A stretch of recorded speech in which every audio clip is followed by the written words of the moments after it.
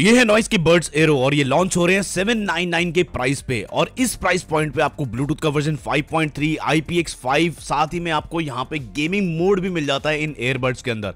कैसा परफॉर्म करते हैं रियल टाइम में, सारी बात करेंगे इस वीडियो में।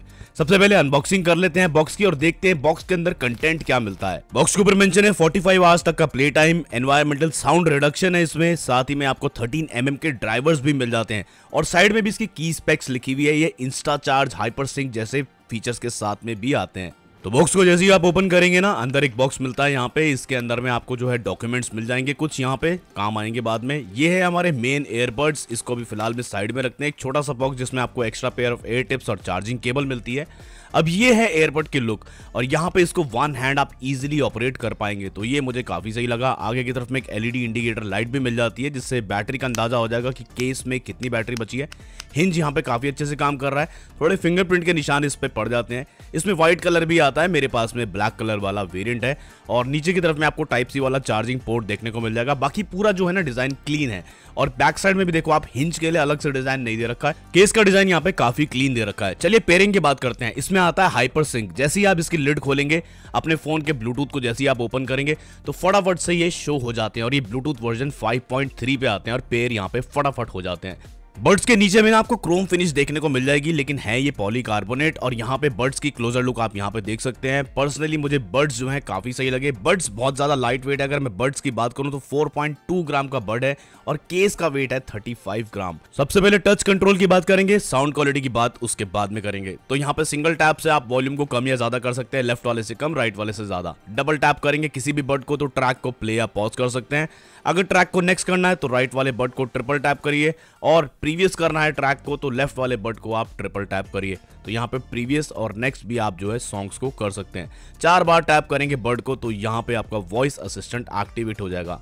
दो सेकंड का डिले लगता है, लेकिन वॉइस असिस्टेंट एक्टिवेट हो चुका है।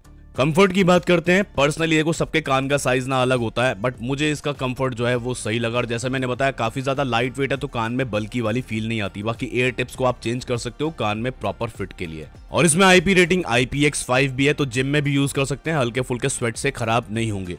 म्यूज़िक की बात करते हैं तो प्राइस है इसका आठ सौ रुपए, उस हिसाब से जज करेंगे। लेकिन भाई, इसका बेस मुझे काफ़ी ज़्यादा पावरफुल लगा। बेस इसका काफ़ी अच्छा है और इसमें ट्रेबल भी आपको शार्प मिल जाता है। लेकिन इसकी वजह से क्या होता है ना, जैसे अगर कुछ पुराने गाने सुन रहे हैं तो हल्के फुल्के वोकल्स दब जाते हैं। लेकिन बेस लवर्स के लिए इस प्राइस पॉइंट पे एक बढ़िया चॉइस हो सकती है। इन बर्ड्स के अंदर में आपको फिफ्टी एम की लो लेटेंसी मिलती है। किसी बर्ड को टैप एंड होल्ड करके रखिए और ये गेम मोड में चले जाता है। तो कैजुअल गेमिंग के लिए भी जो है, मैं इसको रिकमेंड कर सकता हूँ। इन बर्ड्स के अंदर में आपको फोर्टी आवर्स का प्ले टाइम मिल जाएगा। साथ ही में इसमें इंस्टा चार्ज भी मिलता है, जिसकी मदद से 10 मिनट आप इसको चार्ज करेंगे तो 120 मिनट तक का प्लेबैक टाइम मिल जाता है, जो कि काफ़ी सही बात है। इन बर्ड्स के अंदर में आपको एनवायरमेंटल साउंड रिडक्शन मिलता है। ये नॉइस का खुद का एक ट्रेडमार्क है, जिसकी मदद से क्या होता है ना, वही काम करता है जो कि हमारा ई e करता है। बेसिकली बैकग्राउंड नॉइस को थोड़ा रिड्यूस कर देता है कॉलिंग के दौरान में, ताकि आप कॉलिंग क्लियर कर पाए। अब आते हैं मेरे कंक्लूजन पे। देखो जो, इसका लॉन्च प्राइस जो है वो सात सौ निन्यानवे लिमिटेड टाइम के लिए बाद में इसका प्राइस जो है बढ़ के नौ सौ निन्यानवे हो जाएगा। फिर भी अंडर वन आपको ये वाले बर्ड्स मिल रहे हैं, जिसमें आपको इंस्टा चार्ट जैसा फीचर मिल रहा है, तेरह एम के ड्राइवर्स मिल रहे हैं ब्लूटूथ का वर्जन 5.3 मिल रहा है,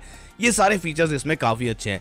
तो जिन लोगों का बजट है टाइट और उनको चाहिए बेस ज़्यादा, उन लोगों के लिए डेफिनेटली मैं इस एयरबड को रिकमेंड कर सकता हूँ। अगर आपको इसे चेकआउट करना है तो वीडियो के डिस्क्रिप्शन में मैंने लिंक दे रखा है। बाकी मेरे चैनल को सब्सक्राइब करेंगे तो मिलेंगे आपको अलग अलग गैजेट्स के वीडियोज़ मिलता हूँ अगले वीडियो में।